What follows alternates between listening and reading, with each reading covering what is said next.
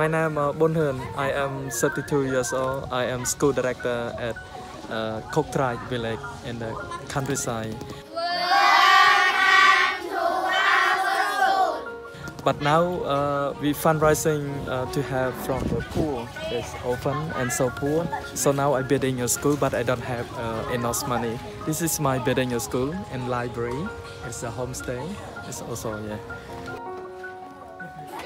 So now I have uh, a lot of children. I have 100 children. We Yeah. learn English, Japanese, and uh, computer. The public school uh, they know English, but it's not English. They have only Cambodia, only Khmer. But when I started school, I opened the school uh, for free. The, their parents, the children, they would like to to to send the children to learn English and Japanese because in Siem Reap a lot the many people and tourists so many people tourists but they can speak they grow up they can speak japanese and english and then i find job for them to work in restaurant and hotel a teacher and tour guide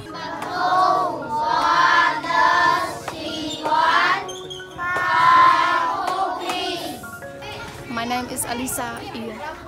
I am 15. I am a student in JP School Academy and I come here two hours uh, every Monday to Saturday to teach English.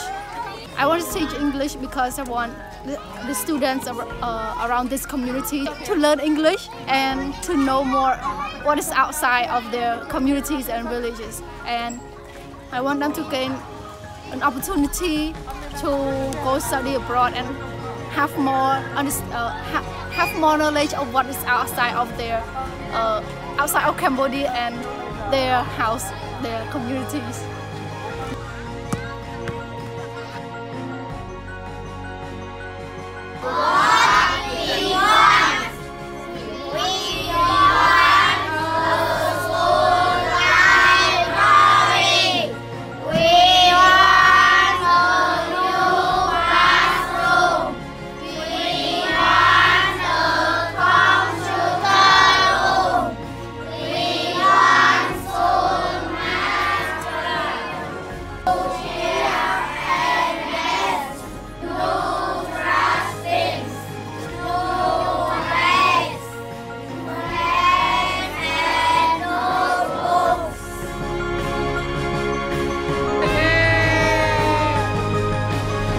Thank you so much. Thank you.